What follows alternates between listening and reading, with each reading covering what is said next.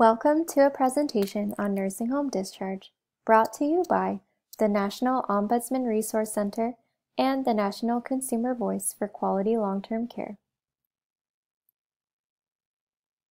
Say you've been told to leave the nursing home you live in.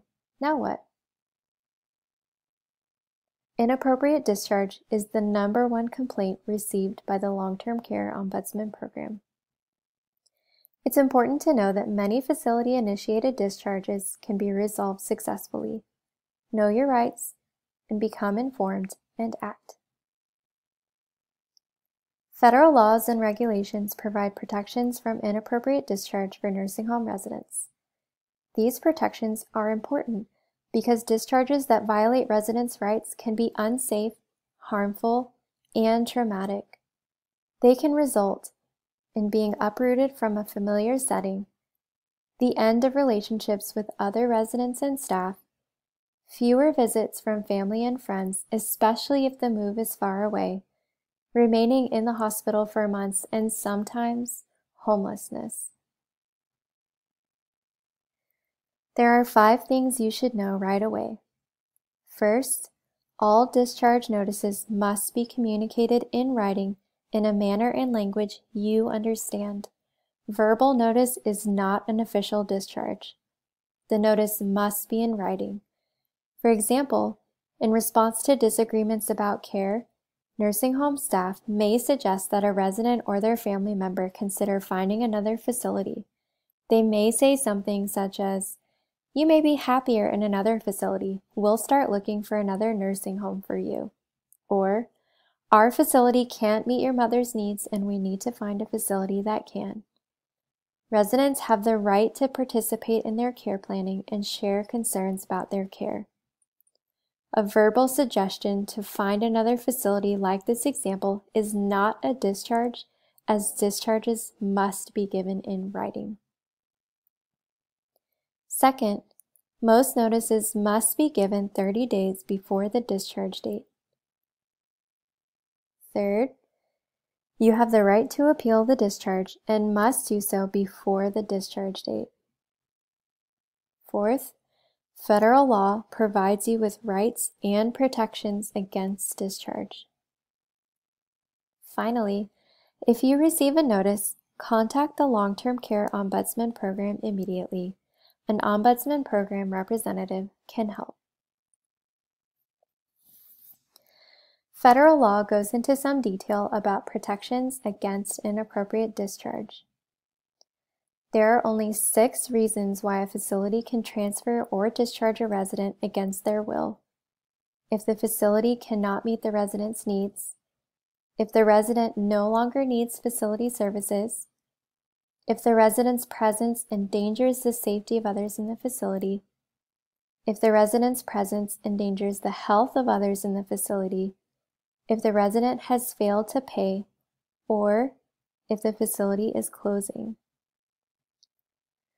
A discharge notice must be in writing and must include the reason for discharge, the proposed effective date, the location to which you will be discharged, information on your rights to appeal the discharge and have an administrative hearing, and contact information for the Long-Term Care Ombudsman Program and, if applicable, the agencies responsible for advocacy on behalf of persons with mental illness and developmental disabilities.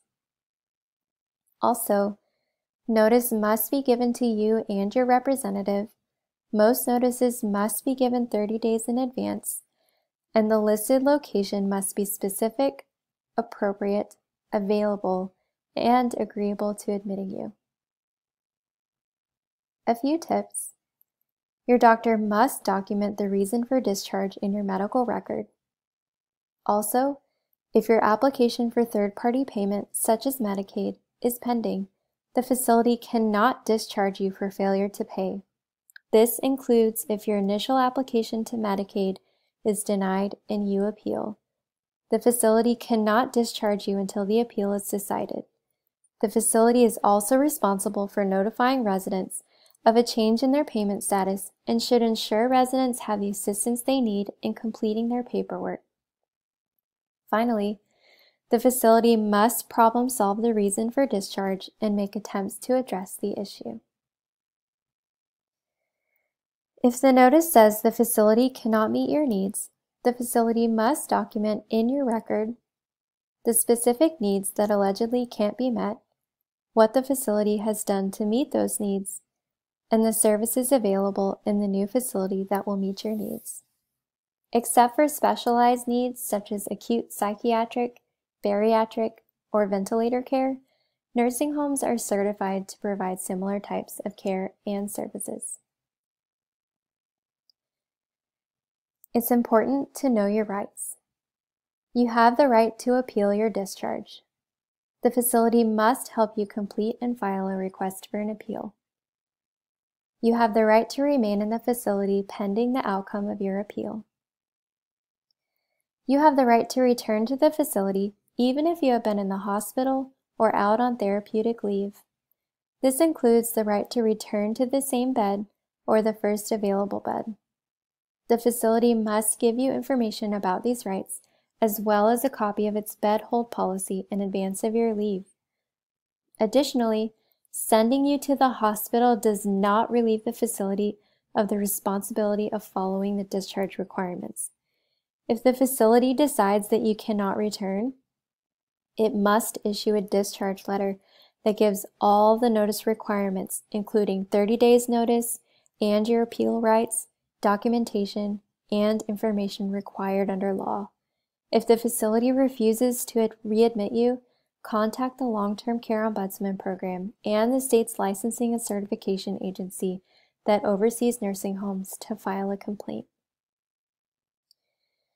You have the right to refuse transfer from one portion of the nursing home certified at one level of care to another portion with a different certification. For example, a resident who is no longer eligible for Medicare has the right to remain in the Medicare certified bed if the resident needs nursing home level of care. However, if a resident is no longer eligible for Medicare, the resident will have to arrange for another source of payment to stay in the nursing home. Also, the facility must inform you if there are changes in eligibility for covered services, what your financial liability may be, and your appeal rights. But exercising your right to refuse does not affect your eligibility for Medicaid or Medicare. You also have the right to know about changes to your room or roommate in writing in advance. If you do move to a new facility, you have the right to participate in all aspects of discharge planning and the right to arrive safely and with all your personal belongings. The written discharge plan must include a living location, services, care, and medications if needed. The facility must prepare and orient you for a safe and orderly discharge in a language and manner you understand.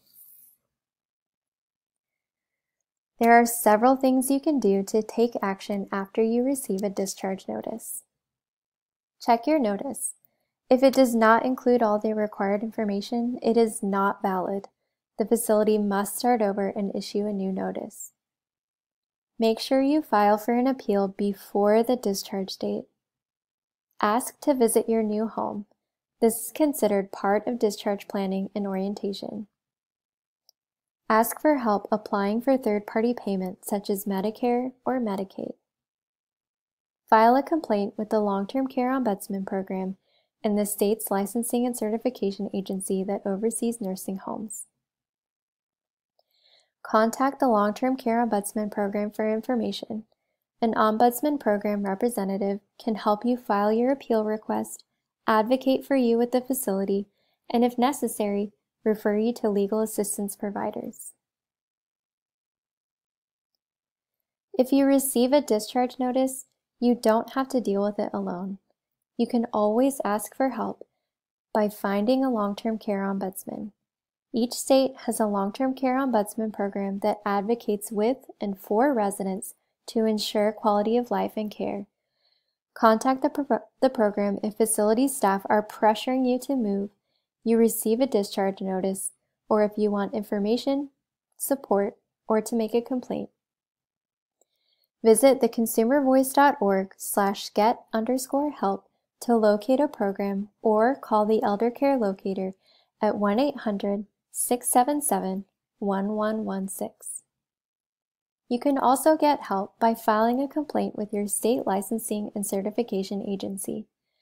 Each state has an agency that licenses, certifies, and regulates nursing homes and investigates complaints. To find your state licensing and certification agency, visit theconsumervoice.org slash get underscore help or call the Elder Care Locator at 1 800 677 1116. Some additional resources you may find helpful include the Long-Term Care Ombudsman Program. Long-term care ombudsmen serve as advocates for quality of life and care for people who live in long-term care facilities. Talking to a long-term care ombudsman is free and confidential. Visit theconsumervoice.org slash get underscore help or call the Elder Care Locator at 1-800-677-1116 to find your state's long-term care ombudsman program. The National Consumer Voice for Quality Long-Term Care has the following resources regarding transfer and discharge available.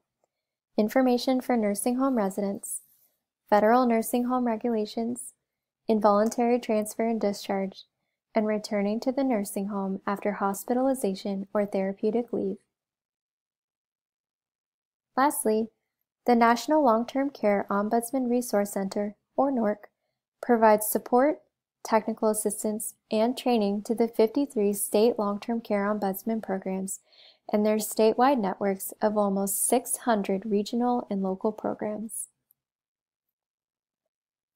Thank you for joining us. This concludes our presentation.